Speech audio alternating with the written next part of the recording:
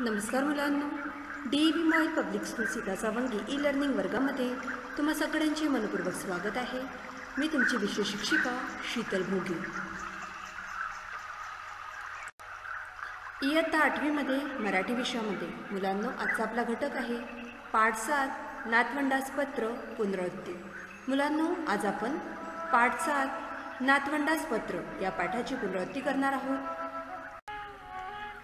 मुलांनो हा आपला पाठ आहे नातवंडास पत्र. या पाठाचे लेखक आहेत नंदू नाटेकर. हा पाठ म्हणजे नंदू नाटेकर यांनी आपल्या नातवंडास लिहिलेले पत्र आहे. तर चला मग पाठाला सुरुवात करूया. प्रिय उद्धव मेघा मिहिका व जानवी अनेक आशीर्वाद. कितीदा तरी मनात येते की तुम्हा चौघांबरोबर बसून तुमच्याशी मनसोक्त गप्पा माराव्यात. मी माझे बालपण कसे घालवले ते तुम्हाला सांगावे. माझी शाळा कॉलेजातले दिवस कसे होते ते सांगावे. आणि पुस्तकातून मित्रांकडून व शिक्षकांकडून मी काय काय आणि कसे कसे शिकलो ते सांगावे. आणि सगळ्यात महत्त्वाचे म्हणजे माझ्या आईवडिलांकडून तुमच्या पणजी पंजोबांकडून त्याच्या मायेतून मी काय शिकलो हेही तुमच्याशी बोलावे. पण प्रत्यक्षात तुमच्याशी बोलताना मोकळेपणाने मनासारखे बोलता येतेच असे नाही. म्हणून वाटले की तुम्हाला हे पत्र लिहावे. मुलांनो हे पत्र नंदू नाटेकर यांनी आपल्या नातवंडास लिहिले आहेत नंदू नाटेकर यांना वाटते की त्यांचे बालपण त्यांचे शाळा कॉलेजातले दिवस कसे होते ते आपल्या नातवंडास सांगावे. ते आपल्या शिक्षकांकडून पुस्तकातून मित्रांकडून काय काय शिकले आईवडिलांच्या मायेतून प्रेम्या प्रेमातून ते काय काय शिकले हे आपल्या नातवंडास सांगावे असे त्यांना नेहमी वाटते. परंतु प्रत्यक्षात नातवंडांशी बोलताना मोकळेपणाने मनासारखे बोलता येतेच असे नाही. म्हणून त्यांना वाटले की हे पत्र आपल्या नातवंडास लिहावे. मी शिकायला सांगलीला होतो. सांगली हे महाराष्ट्रातले एक गाव आहे.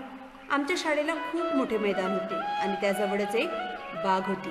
मुलांनो इथे लेखक आपल्या शाळेतील जीवनाचे वर्णन करत आहेत. लेखक सांगतात की मी शिकायला सांगलीला होतो. लेखक सांगलीला शिक्षण घेत होते. सांगली हे महाराष्ट्रातले एक गाव आहे. आमच्या शाळेला खूप मोठे मैदान होते. आणि त्याजवळच एक बाग होती आम्ही तिथे मनसोक्त खेळायचो हुंदडायचो झाडांवर चढायचो पावसाला की त्या चिंब चिंब भिजायचो. निदान सुट्टीमध्ये तरी तुम्ही तुमच्या मोठ्या शहरांमधून बाहेर पडून थंड हवेच्या गिरीस्थानांवर किंवा छोट्या गावी गेले पाहिजे. पक्ष्यांचे चिवचिवणे थवेने आणणे. तसेच जंगलातील विविध पशूंचे आवाज ऐकणे हा मोठा मजेशीर अनुभव असतो. मोकळे आकाश वाहती नदी आणि झाडे आपल्यासाठी गमतीचा नजरानाच आणत असतात. त्याची मजा तुम्ही लुटली पाहिजे. मुलांनो लेखक इथे आपल्या बालपणाचे दिवस कसे होते? त्याचे वर्णन करत आहेत. लेखक म्हणतात की आमच्या शाळेजवळ एक बाग होती. तिथे ते मनसोक्त खेळायचे हुंदडायचे झाडावर चढायचे आणि पाऊस आला की त्यात चिंब भिजायचे. लेखक म्हणतात की निदान म्हणजे कमीत कमी उन्हाळ्याच्या सुट्ट्यांमध्ये तरी तुम्ही म्हणजे नातवंडास म्हणत आहेत ते तुम्ही तुमच्या मोठ्या शहरांमधून बाहेर पडून थंड हवेच्या गिरिस्थानावर गिरिस्थान म्हणजे हिल स्टेशन थंड हवेच्या गिरिस्थानावर किंवा छोट्या गावी गेले पाहिजे. पक्ष्यांचे चिवचिवणे थमे थवे न्याहाळणे. थवे न्याहाळणे म्हणजे थव्यांचे निरीक्षण करणे तसेच जंगलातील विविध पशूंचे आवाज ऐकणे. हा मजेशीर अनुभव असतो. लेखकांनी हा अनुभव घेतला आहे. माझ्यापुरते बोलायचे तर मी अभ्यासामध्ये काही फारसा चांगला नव्हतो. मला खेळायला मात्र आवडायचे आणि बॅडमिंटनची आवड मला लहान वयातच लागली होती. निरनिराळे चषक व ढाली घेतलेले माझे कितीतरी फोटो तुम्ही पाहिले आहेत ना? मुलांनो लेखक इथे आपल्या नातवंडास सांगत आहेत की ते अभ्यासात फारसे चांगले नव्हते परंतु त्यांना खेळायला फार आवडायचे. बॅडमिंटनची आवड त्यांना लहान वयातच लागली होती. त्यामध्ये त्यांनी निरनिराळे चषक व ढाली घेतलेले जिंकले होते. सातत्याने म्हणजेच सतत परिश्रम म्हणजे कष्ट करणे. तर सतत परिश्रम करून करूनच मी विजेता खेळाडू होऊ शकलो. आंतरराष्ट्रीय सामन्यात आपल्या देशाचे मी प्रतिनिधित्व केले. मला अर्जुन पुरस्कार मिळाला. लेखक इथे सांगत आहेत की सातत्याने त्यांनी परिश्रम केले म्हणूनच ते विजेता खेळा खेळाडू होऊ शकले. त्यांनी आंतरराष्ट्रीय सामन्यात मुलांनो आंतरराष्ट्रीय सामने म्हणजे विविध देशादेशात परस्परांविरुद्ध घेण्यात येणारे सामने. तर अशा आंतरराष्ट्रीय सामन्यात लेखकांनी आपल्या देशाचे प्रतिनिधित्व केले. लेखकांना अर्जुन पुरस्कार मिळाला. मुलांनो अर्जुन पुरस्कार खेळाडूंसाठी देण्यात येणारा सर्वोच्च राष्ट्रीय पुरस्कार आहे हा. तर तो नंदू नाटेकर यांना मिळाला आहे. तुम्ही कोणता ना कोणता खेळ खेळलाच पाहिजे. मग तो क्रिकेट टेनिस बॅडमिंटन असा तुम्हाला जो कोणता आवडत असेल तो खेळ असू दे. खेळ खेळण्यामुळे आपल्या आयुष्यात शिस्त येते. कोणत्याही प्रसंगाचा सामना कसा करायचा अगदी हरावे लागले तरी कसे हरायचे ते खेळ आपल्याला शिकवतात. जिंकलो तर जिंकण्याचा आनंदही मिळवून देतात. प्रत्येकाने दररोज थोडा व्यायाम केलाच पाहिजे. मला वेळ नाही ही सबब सांगू नका. वेळ नाही म्हणून जेवण करायचे राहते का? मुलांनो लेखक इथे खेळाचे महत्त्व सांगत आहे. लेखक म्हणतात की कोणता ना कोणता खेळ प्रत्येकाने खेळलाच पाहिजे. खेळल्यामुळे आपल्या आयुष्याला शिस्त येते. कोणत्याही प्रसंगाचा सामना आपण कसे करायचे ते आपण खेळातून शिकतो. जिंकलो तरी जिंकण्याचा आनंद आणि हरलो तरी कशाप्रकारे हरायचे ते सुद्धा आपल्याला खेळच शिकवते. प्रत्येकाने दररोज थोडा व्यायाम केलाच पाहिजे. मला वेळ नाही ही सबब सांगू नका. सबब म्हणजे तक्रार. वेळ नाही म्हणून आपण जेवण करायचे राहतो का? दोन्ही जेवणासाठी बरोबर वेळ मिळतो. मी म्हणतो ते पटते का तुम्हाला? जर काहीच व्यायाम झाला नसेल तर आज वयाच्या सहासष्टव्या वर्षीसुद्धा मला जेवावेसे वाटत नाही.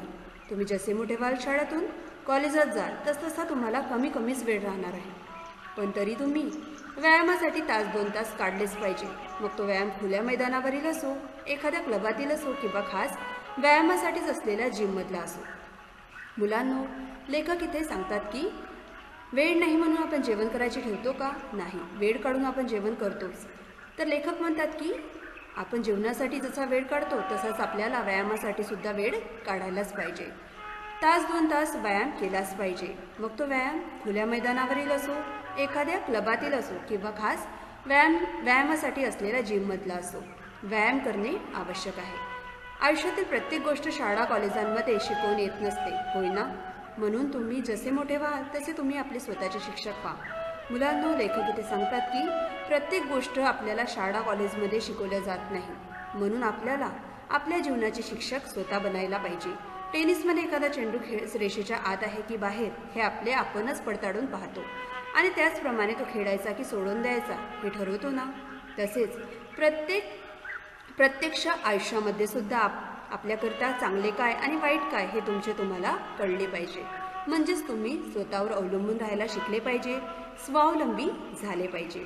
मुलांना लेखक ते सांगतात की आयुष्यामध्ये आपल्याला काय चांगले आहे आणि काय वाईट आहे हे आपल्यालाच ठरवता आले पाहिजे. आपल्याला आपले निर्णय घेता आले पाहिजे. आपल्याला स्वतःला स्वतःवरच अवलंबून राहायला शिकले पाहिजे. स्वावलंबी झाले पाहिजे. आता आपण तिसऱ्या सहस्त्रकामध्ये प्रवेश केला आहे. संपर्क माध्यमे दळणवळण आणि संदेश वाहनाचा आवाकाही वाढतो आहे. आता आपल्या घरी बसल्या जागी हवी ती माहिती तुम्हाला ईमेल आणि इंटरनेटद्वारे मिळू शकते.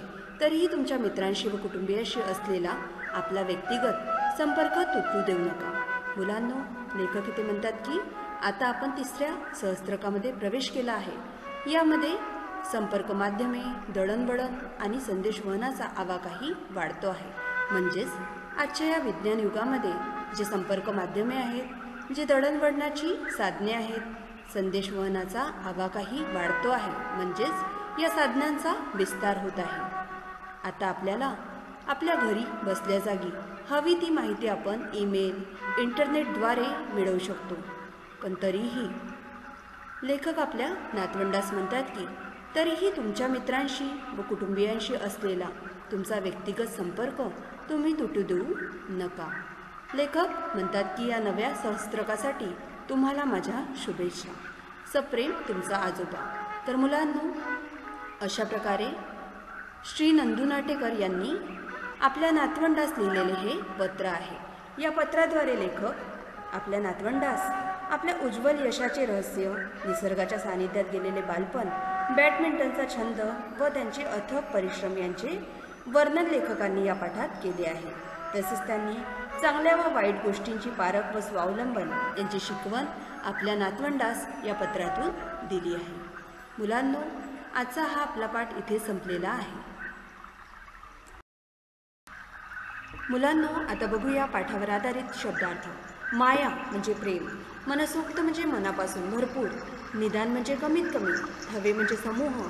नजराना म्हणजे मौल्यवान भेट. सहस्त्र म्हणजे हजार वर्ष. सातत्याने म्हणजे सतत किंवा नेहमी. विजेता म्हणजे विजय मिळ विजय मिळवणारा. परिश्रम म्हणजे कष्ट. सबब म्हणजे तक्रार. करायची बाब हुंदळणे म्हणजे बागडणे संपर्क म्हणजे जोडले जाणे. न्याहाळणे म्हणजे निरीक्षण करणे. आता बघूया स्वाध्याय. प्रश्न क्रमांक एक आहे आकृत्या पूर्ण करा.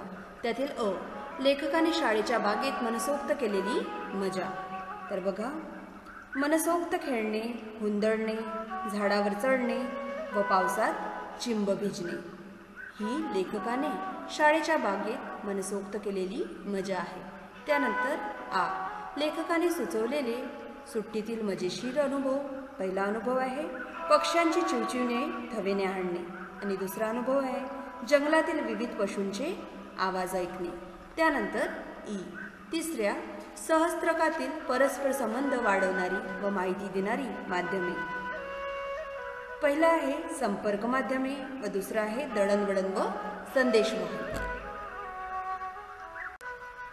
त्यानंतर मुलांना प्रश्न क्रमांक दोन आहे एका शब्दात उत्तर लिहा. लेखक जेथे शिकले ते गाव. ते गाव आहे सांगली. लेखकाला मिळालेला पुरस्कार. लेखकाला अर्जुन पुरस्कार मिळाला होता. खास व्यायामासाठीच असलेले ठिकाण. ते ठिकाण आहे जिम. लेखकाचा आवडता खेळ. लेखकाचा आवडता खेळ आहे बॅडमिंटन.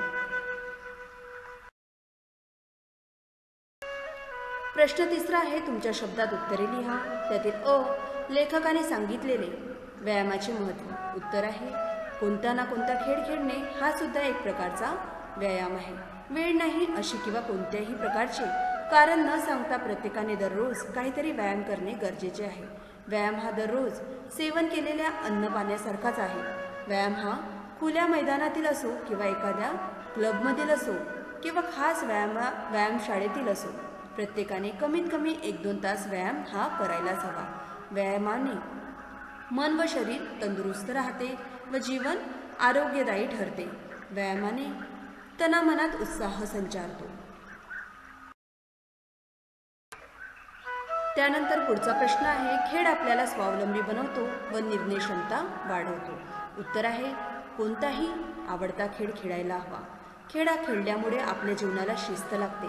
कोणत्याही समस्येशी मुकाबला कसा करायचा हे खेळ शिकवतो. हरलो तरी जिगरबाजपणे कसे हरावे व जिंकलो तर आनंद कसा घ्यायचा हेही खेळच शिकवतो. यासाठी स्वतः स्वतःचे शिक्षक व्हावे लागते. प्रत्येक खेळातील पडताळा जसा आपला आपणच घेतो. त्याप्रमाणे आयुष्यातही चांगले वाईट काय आहे याची निर्णय क्षमता खेळ वाढवत असतो. त्यासाठी स्वतःवर अवलंबून राहायला शिकले पाहिजे. आपण स्वतः स्वावलंबी व्हायला हवे. खेळ आपल्याला स्वावलंबन शिकवतो व आपली निर्णय क्षमता वाढवतो. आता बघूया मुलांना. खेळूया शब्दांशी. खालील तक्ता पूर्ण करा. बघा एकवचनी काही शब्द दिलेले आहेत. त्यांचे अनेक वचनामध्ये रूपांतर करायचे आहे.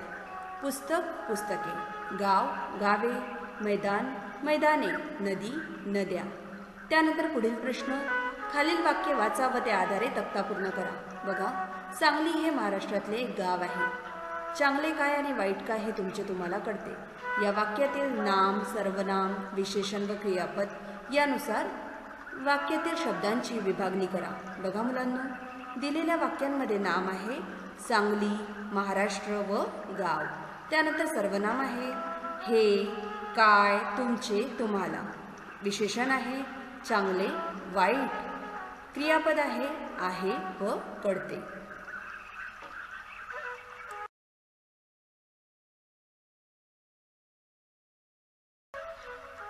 तर मुलांनो आजच्या या भागामध्ये आपण पाठ सात नातवंडास पत्र या पाठाची पुनरावृत्ती केली.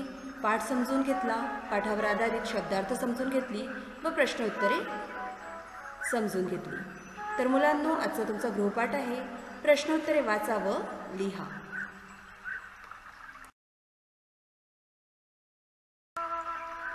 मुलांनो पुढच्या तासिकेला आपण एका नवीन पाठाची पुनरावृत्ती करूया. धन्यवाद.